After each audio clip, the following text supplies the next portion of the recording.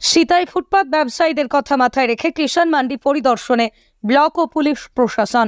মঙ্গলবার দুপুরে সীতায় কিষাণ মান্ডি পরিদর্শনে যান ব্লক সমষ্টি উন্নয়ন আধিকারিক নিবিড় মণ্ডল দিনহাটা মহকুমা পুলিশ আধিকারিক ধীমান মিত্র, সীতাই থানার আইসি দেবদত্ত ব্যানার্জি ছাড়া অন্যান্যরা।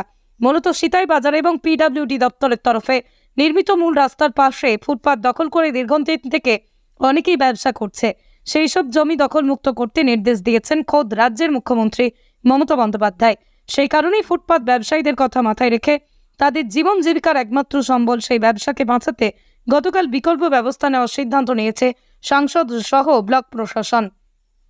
সাংসদ জগদীশ চন্দ্র বর্মা বসুনিয়ার গতকাল জানায়, সীতাই কিষাণ মান্ডিতে অনেক স্টল পড়ে আছে। স্টল নিলামের সময় অনেকেই ব্যবসার জন্য সেই স্টলগুলি কিনলেও ব্যবসা করেন না। দীর্ঘদিন থেকে সেই স্টলগুলো বন্ধ। সেই সব বন্ধ স্টলগুলো প্রশাসনের পক্ষ থেকে উদ্ধার করে ফুটপাত ব্যবসায়ীদের ব্যবসা করার জন্য দেয়া হবে, যাতে তারা জীবন জীবিকা নির্বাহ করতে পারে। আজ সেই কারণে কিষাণ মান্ডি পরিদর্শনে যান ব্লক ও পুলিশ প্রশাসন। এদের এদিন পরিদর্শনের পর ব্লক সমষ্টি উন্নয়ন আধিকারিক নিবিড় মণ্ডল সংবাদ মাধ্যমকে প্রতিক্রিয়া দিতে গিয়ে কি জানিয়েছেন শুনব।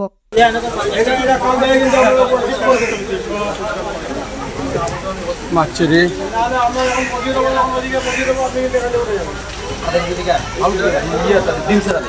আপনার বাইক কেনার স্বপ্ন এবার হবে পূরণ কারণ আমান হোন্ডা নিয়ে এসেছে একেবারে স্বল্প ডাউন পেমেন্টে বাইক বা স্কুটার কেনার সুবর্ণ সুযোগ। বিনা অ্যাকাউন্ট লো সিভিল ন্যূনতম ডকুমেন্টে আজই নিয়ে যান স্বপ্নের বাইক আপনার বাড়িতে। অতিরিক্ত ছাড় পেতে আজই যোগাযোগ করুন বামনহাট আমান হোন্ডা শোরুমে শর্তাবলী প্রযোজ্য। যোগাযোগ করুন nine zero zero two eight zero five four one four দর্শনে আসলেন এ ব্যাপারটা কি বলবেন?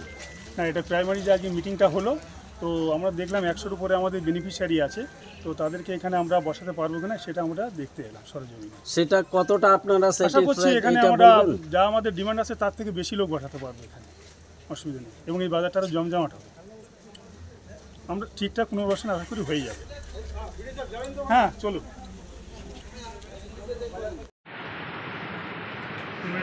ভারী